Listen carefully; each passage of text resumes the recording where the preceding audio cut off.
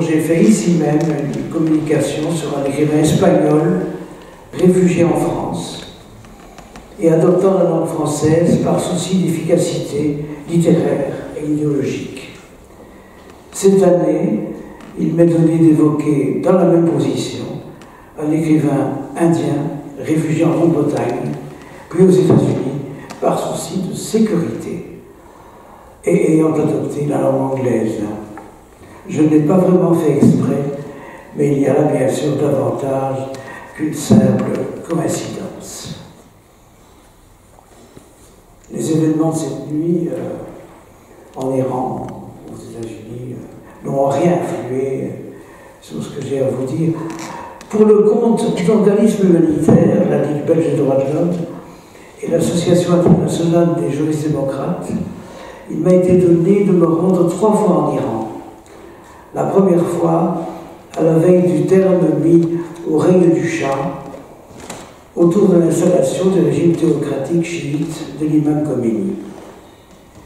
Celui-ci, attendant son heure, ayant tout un temps vécu en France, à Naufle-le-Château, pour l'anecdote non loin de la résidence secondaire de Marguerite Duras et du domicile de Michel Tournier, bien qu'il n'y ait aucun contact avec ceux-ci. Mais durant son exil, il n'en avait pas moins capitalisé beaucoup de sympathies idéologiques, notamment la gauche intellectuelle parisienne.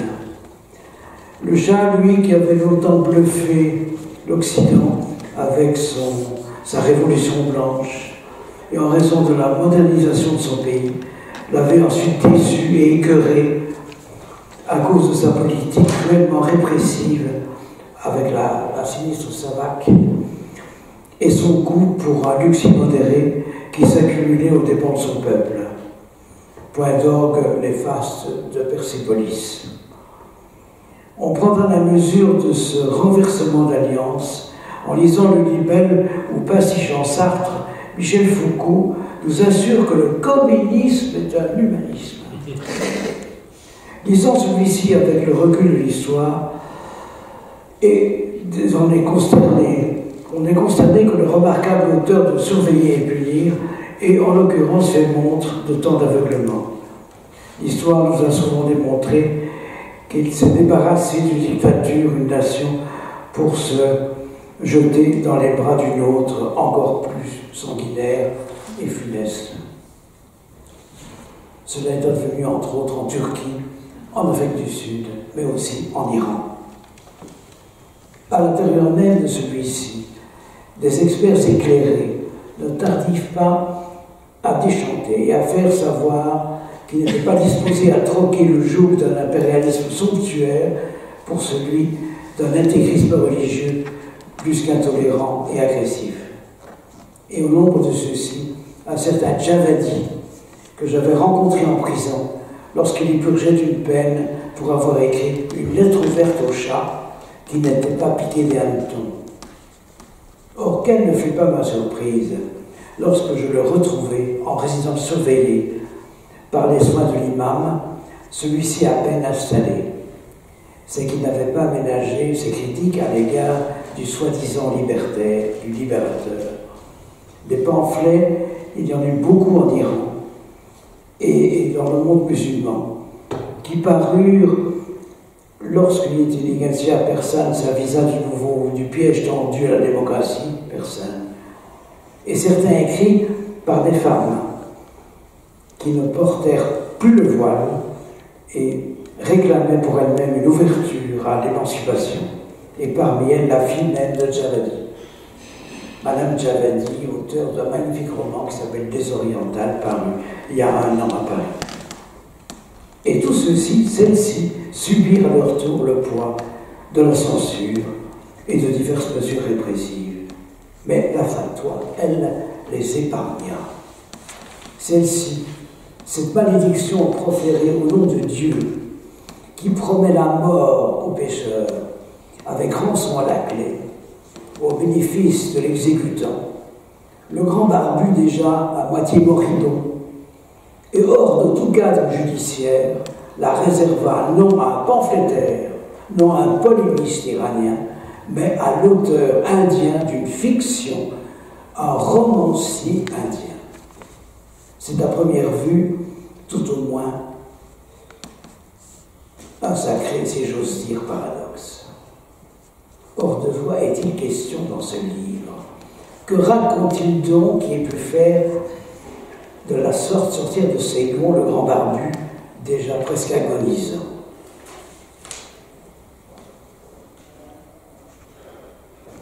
Il s'articule autour d'un fait divers, rocambolesque. L'explosion au-dessus de la Manche d'un jumbo jet Parmi les membres des cadavres déchiquetés et non identifiables, on décèle deux créatures tombées du ciel, Gibreel Falisha, un célébrissime acteur indien, et Salami Shamsha, l'homme aux mille voix, seul rescapé du naufrage aérien ayant atterri pratiquement indemne sur le littoral britannique. Ils vont incarner la lutte éternelle entre le bien et le mal, au travers d'innombrables péripéties, au sein d'une tribulation centrale où figure le prophète Mohammed, porteur d'une révélation où les versets sataniques se mêlent au message divin. Tout lecteur ordinaire de cette étrange odyssée n'y verra pas malice et rien de franchement blasphématoire. Il n'y a pas là de quoi fouetter un chat. Je vous laisse la liberté d'orthographier le mot chat comme vous l'entendez. C'est tellement vrai que cette étrange fantasmagorie ne s'en prend pas plus singulièrement que cela à l'islam comme tel. Sur un mode plutôt comique, on pourrait penser qu'il prend pour cible toutes les religions, et même certaines libres pensées, soi-disant libertaires. On peut y voir un divertissant procès global fait à une façon générale de dépenser, de ne pas penser du tout. Alors bien entendu, L'islam en fait partie, mais il est loin d'être le seul. Pour déclencher un processus de traque contre un auteur, on aurait plutôt le soupçon qu'il s'agit d'un prétexte. Avant la parution du soi-disant Bruno, n'avait-on pas écrit sur l'Iran et sur toute théocratie des pamphlets extrêmement plus féroces, dont jamais l'auteur n'a été poursuivi par une fatwa Bien entendu, l'imam Khomeini n'a probablement jamais lu les versets sataniques. Depuis quand les tyrans prétenderaient-ils trouver le temps de, lire des romans? Évoque alors le contexte dans lequel se trouve ourdi le complot mortifère. Depuis son retour en Iran, il surgit soudain, porteur de toutes les espérances, d'un peuple lassé par les excès et les frasques d'un despote déconsidéré et qui prend la fuite pour aller se faire soigner aux États-Unis.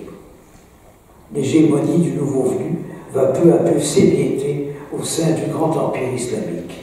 La déception que produit son successeur n'en est que plus cinglante, cuisante, et cela dans le cercle même de ses proches. L'ayatollah Montazeri, qu'on se met à présent, qu'on présente à présent comme son possible dauphin, va même lui reprocher d'avoir inconsidérément creusé un fossé d'incompréhension entre Téhéran et l'Occident.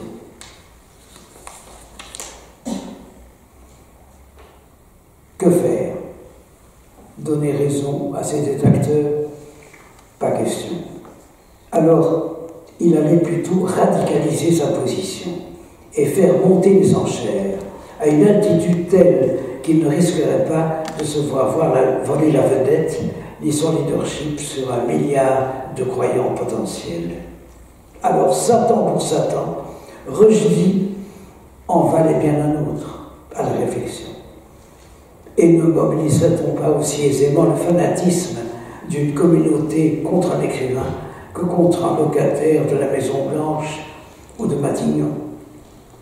Avec cet avantage que le cynisme des politiciens d'Occident sacrifieraient plus volontiers un primitif sans charisme que tel ou tel de leurs collègues au sein de divers blocs et alliances. L'histoire se montrer comme sur ce point.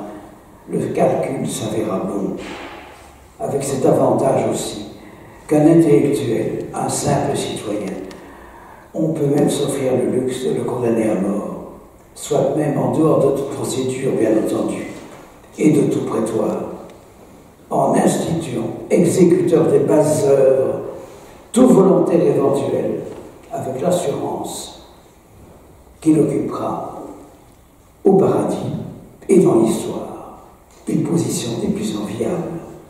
Soyons de bon compte, il s'agit là d'un coup de génie, même si l'aspect, oserait dire, métaphysique de ce marché fait reculer au-delà des frontières connues à ce jour le domaine de l'humour noir.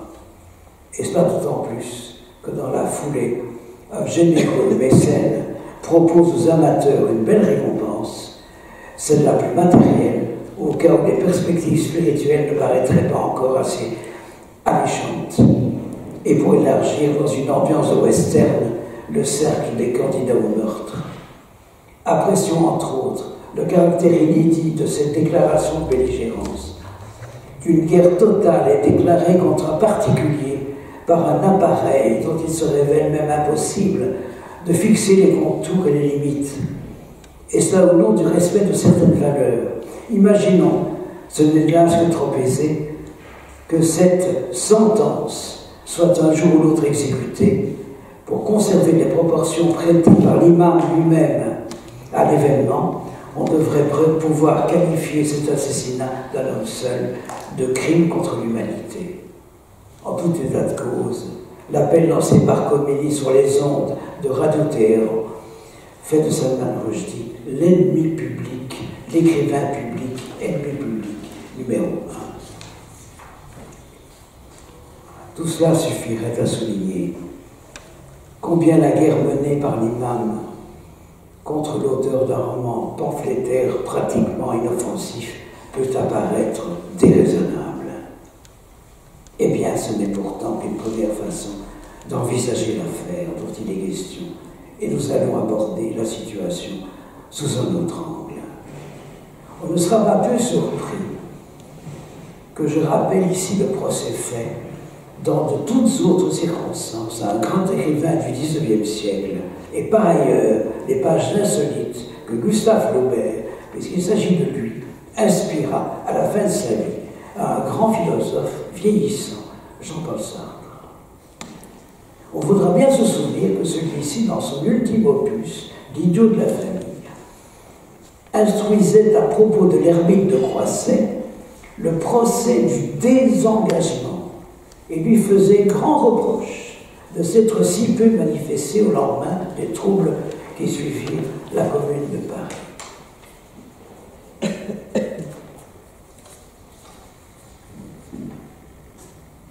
Tout n'est-il pas bien relatif? Puisque c'est à propos de ce même homme que la République française se lança une, action judiciaire demeurée célèbre contre Madame Bovary. Réfléchissons un instant. Je me rappelle un jour, au dialoguant avec Pierre Paolo Pasolini, qui venait de rencontrer le même Jean-Paul Sartre au Pont-Royal. Celui-ci me confia son agacement d'avoir été comparé par lui à Jean Genet, dont le, lamentable antisémitisme le persécutait. Et comment je lui demandais où se situait selon lui, Pasolini, le véritable engagement, il me fait cette réponse mémorable. Un écrivain peut se dire engagé lorsqu'il a été pour un écrit poursuivi en justice. Il faut dire que notre homme avait subi de son vivant une trentaine de procédures, et même post-mortem, puisque le code italien pénal le permet. Mesurant la justesse de cette analyse, je découvris ce jour-là ce paradoxe. Tandis que Sartre n'avait jamais dû répondre d'aucun de ses actes devant des juges, Flaubert avait dû échapper à la prison grâce à un avocat. Alors réfléchissons-y un, un instant. N'arrive-t-il pas que le plus profond engagement se révèle en fait involontaire? C'est moins une décision personnelle et partisane que l'histoire même qui quelquefois décide de l'engagement d'un homme. Et revenons alors à Salman Rushdie. Celui-ci n'aura-t-il pas été bien malgré lui à écrivains les plus engagés du XXe siècle sans l'avoir vraiment cherché, contrairement à ce qu'on a souvent prétendu, mais par la force même des choses. Et ce n'est pas seulement à cause des versets sataniques, mais pour toute son œuvre considérable que le romancier indien traqué fut dans le monde entier incarné, a dû incarner définitivement ce statut. On n'est pas engagé parce qu'on décide, on est engagé parce que la force de l'histoire vous y pousse, parce que vous ne pouvez pas faire autrement. L'engagement décisionnel, militant, les signatures au, au, deux magots, au café de Flore, qu'est-ce que ça signifie Ce n'est pas grand-chose même, ça ne demande rien à personne. Mais être forcé comme Zola, comme d'autres. Vous savez que Joseph Samigno, au moment de la publication des mots de Sartre, intervenant Sartre, Sartre dit Moi, je ne suis pas engagé au sens que Zola, comme ça, qui a la légère, euh, si j'accuse, on n'en croit pas, on n'en croit pas ses yeux. Qui est le plus engagé des deux, en face de sérieux Mais tout est toujours comme ça. Parvenant pratiquement au terme de notre Odyssée, il nous faut évoquer un ultime retournement qui s'achève en prêtant au personnage qui nous a occupés tout le sens de sa destinée. En 2012, il nous offre, sous le pseudonyme de Joseph Anton, une autobiographie intitulée Salman Rushdie. Et attendons-nous un instant sur l'identité de l'auteur prétendu, Joseph Anton. Joseph en hommage à Joseph Roran. Anton en connivence avec Anton Tchekhov. S'en expliquant sobrement, comme à l'accoutumée, notre homme invoque Conrad à cause de son goût, de sa perspicacité à l'égard du secret et du mystère. Et se retrouve avec Anton Tchekhov pour sa complicité avec les humbles et les solitaires. Mais c'est là, à notre sens, trop peu dire. Ce n'est pas pour rien que l'écrivain britannique, entre-temps exactement naturalisé anglais, d'origine polonaise, a toujours manifesté sa sollicitude pour les réprouver, les humilier, les hommes voués à se cacher. Le, nègre du Narcisse, Lord Jim, Typhon, ne relate pas autre chose. Quant au docteur Tchekhov, il paya sa dette à la médecine. Sa femme légitime, disait-il, tandis que la littérature n'était que sa maîtresse, en allant, après avoir traversé toute la Sibérie, plusieurs mois durant, partager le sort des bagnards et des forçats de l'île de Sakhaline, les damnés de la terre, et lui consacra un rapport sur le système pénitentiaire qui un jour porterait le nom de Goulag. Bref, ces deux acteurs considérables ne se rattachent-ils pas à cette catégorie des écrivains véritablement engagés, c'est-à-dire par l'histoire elle-même et pas par leurs propres décisions partisanes, et n'ayant pas décidé, mais ayant laissé l'histoire décider à leur place comme précisément l'a fait Salman Rushdie. Et nous retrouvons donc ce livre, la restitution du parcours exemplaire de notre homme, plus et mieux que n'eût pu le faire n'importe quel inquisiteur, n'importe quel enquêteur, n'importe quel biographe. L'ultime paradoxe, est un, de toute cette affaire ce sera probablement le roman autobiographique inspiré par, par l'offense qui alimente celui qui constitue le chef-d'œuvre de l'auteur. Et cela restera l'univers parfait, le seul bénéficiaire, si l'on veut. Donc l'homme ciblé retirera de l'aventure. Il s'en sera bien passé et puis ceci, me confessa, me consolera de cela. J'ai partagé avec Salman deux ou trois repas à Boisfort, dans un restaurant qui portait le, nom délicieux du beurre gourmand et qui a disparu depuis lors. Nous étions entourés par trois cercles de policiers, dont un de Scotland Yard, Et il me dit avoir passé à, la fois une soirée splendide où il pouvait parler de lui, de sa famille, de, son enfant, et en même temps jetant un coup d'œil inquiet vers les fenêtres, sans cesse interloqué par cette présence oppressante des flics qui nous entouraient. Cela s'est passé au Polytechnique, cela s'est passé au, théâtre du botanique. Chaque fois, nous n'avons pas pu parler, sinon entourés. Comment ne pas comprendre que se retrouvant aujourd'hui à New York, il retrouve enfin une vie normale En expliquant la dernière fois que nous avons pu converser, au, au stupeur, il était encore à l'âge qu'il avait, possible de retrouver une vie où pendant quelques heures par jour, il pouvait cesser de penser à la protection dont il était tenu de bénéficier. Transformer une vie gâchée, saccagée, dévastée en opus magnum, ce fut désormais son œuvre. Et il intitule son œuvre le plus ultime, Salman Rushdie, c'est le titre du livre, par euh, par un par, par, par le nom de ces deux parents, Joseph Anton. Joseph Anton devient l'auteur et Salman Rushdie devient le livre. Transformer cette vie gâchée, saccagée, dévastée en plus magnum. Rassembler miraculeusement en une fiction le fruit, comme le fruit d'une imagination totalement débridée, ce qui lui est réellement arrivé et arrivé lui qui observait encore récemment que s'il n'avait pas choisi lui-même ce combat qu'on lui avait livré, concluait qu'il s'était pourtant agi d'un bon combat. Il n'avait rien fait pour ça. Il n'avait pas posé un acte pour en arriver à être une cible que rassemblerait des millions de gens.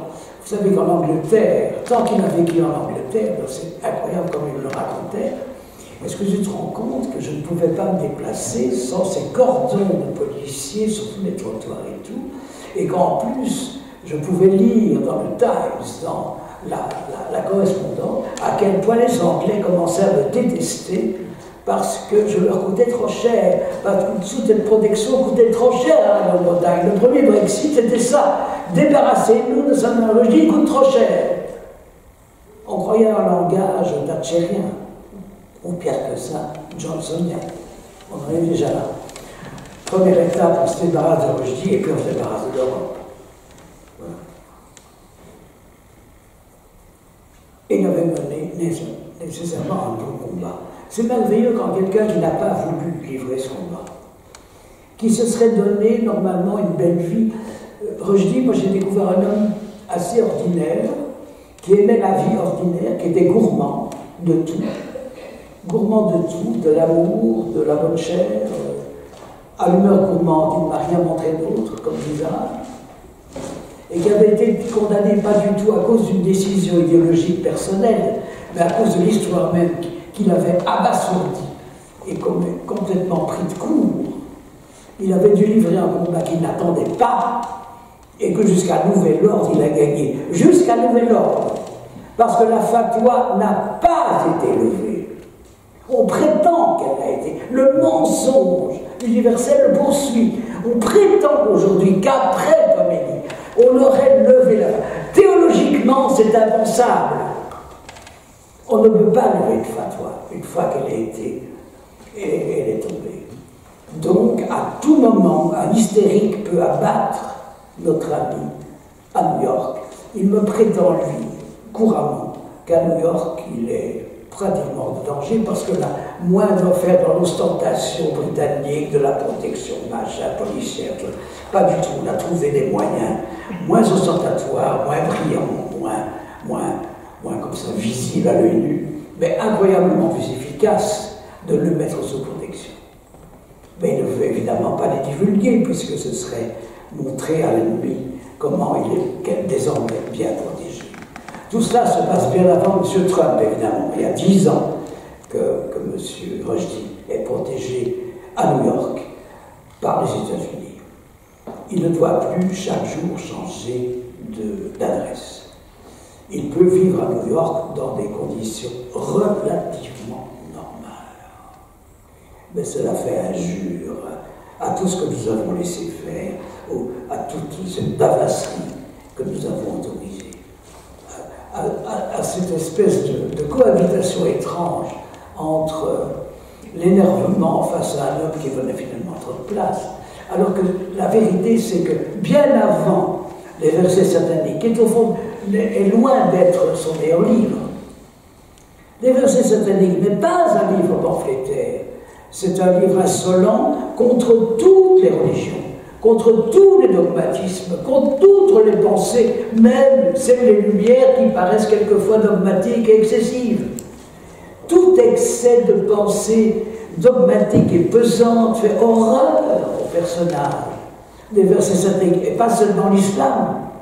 Évidemment, comme il est né dans une famille islamiste, forcément, les islamistes ce qui est épouvantable, c'est que aussi bien Mme Thatcher que Monseigneur de Courtrai, que toute cette bande de voyous ne s'en soient pas avisés et qu'il n'a pas trouvé du côté religieux en Europe, au moment de la parution de son livre, le moins d'appui. Combien de religieux disaient Oh là là, si ça commence comme ça, on va tout permettre demain. Euh, on comprend finalement les blessures, les, cicatrices que ça va laisser chez quelques hommes de foi, que cette espèce d'insolence, cette impertinence euh, excessive.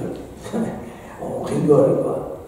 Il n'a pas trouvé cette aide-là, nulle part. Il a dû s'enfuir jusqu'aux États-Unis, qui ne nous paraissent pas nous, Européens, le paradis terrestre, je pensé, pour y avoir une paix finale. Ça doit nous faire, je crois, un petit peu réfléchir et nous faire un peu. Alors voilà, c'est un peu ça que je voulais vous dire. C'est étonnant, je n'avais pas du tout prévu qu'un an après avoir parlé de saint je parlerai d'un homme pour, ayant changé de, langue, ayant changé d'univers pour se protéger. J'avais surtout pas prévu de parler au lendemain d'une nuit où l'Iran, une fois de plus, apparaît dans sa, la pire des images.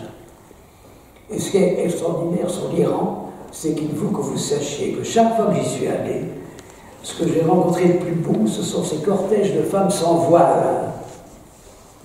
La seule façon de protester visiblement, à l'ONU, avec une force, une ténacité, une espèce d'absence totale de, de, peur, de couardise, c'est les cortèges de femmes qui, toutes les semaines, défilent à Téhéran, à Tabriz, à Qom, ou dans d'autres villes iraniennes, sans voile. Et que quand elles apprennent, elles apprennent que des femmes en Occident s'obstinent à défendre le voile, sont horrifiées en disant alors quoi, à quoi sert notre combat, puisqu'on le combat même en Europe, et qu'on nous fait de l'ombre, et que finalement c'est comme si nous nous battions pour rien. Enfin, tout cela, je vous le jette un peu à la volée, un peu comme ça, dans le désordre. Je m'en excuse un peu, j'avais prévu d'être plus ordonné et plus logique dans mon discours. Mais voilà, l'actualité est ce qu'elle est? Si, euh, j'ai encore peut-être deux choses à dire, je crois que tout bien considéré, et quand on apprend tous les attentats islamistes qui se sont produits depuis qu'on a vu que la fatwa a été déclenchée, l'affaire, euh, évidemment, de Charlie Hebdo. Euh, alors c'est très joli de dire je suis Charlie, mais personne ne dira Charlie, je suis Salman. Non. On dira je suis euh, Charlie. On ne dira pas je suis Salman. C'est étrange. Il faut quand même se demander pourquoi. La caricature, ce n'est pas la parodie, c'est encore autre chose. Ce n'est pas tout à fait la même chose. Il faut quand même y réfléchir. La provocation et le scandale, ce sont deux choses différentes. Pourquoi ce que ce monsieur a fait scandale Il n'a pas fait de provocation. Relisez les versets sataniques, ou plus exactement, lisez-les enfin. Parce que ce livre, à l'évidence, a été acheté par tout le monde et lu à peu près par personne. C'est le seul point commun qu'il ait avec Mein. On savait très bien que Mein Kampf, tout allemand l'achetait, mais ne le lisait pas. Pour des raisons totalement inverses, les versets sataniques est un livre que je n'ai jamais réussi à entendre commenter par aucun de mes amis, parce qu'ils l'avaient tous dans leur salle d'attente, dans librairie, mais il n'avait à l'évidence pas lu. Et peut-être même non sans bonne raison. Ce n'est pas le meilleur livre de l'auteur. Les enfants de minuit, la honte, et surtout l'admirable Salman Rushdie de, de son pseudonyme sont très supérieurs. Mais voilà, devant quel paradoxe on se trouve, à quel paradoxe on se trouve confronté. Et c'est pourquoi je crois il faut le saluer parce qu'il aurait été sans doute le premier à nous avertir. C'est pour ça que j'en fais le lanceur d'alerte par excellence. Parce qu'il l'avait rencontré sur son chemin et que nous étions gens bien en guerre contre ces forces obscures qui funestement ourdissent un grand complot contre nous et contre nos valeurs démocratiques. Et tout qui sous-estime ce danger, tout qui prétend que nous ne sommes pas en guerre contre ça, vraiment, franchement, ne mérite que, que le dédain, parce que je sais qu'il y a des mots forts qu'on hésite à employer, mais le mot guerre n'est pas excessif s'agissant de cela. Et si nous n'avions pris l'habitude depuis quelque temps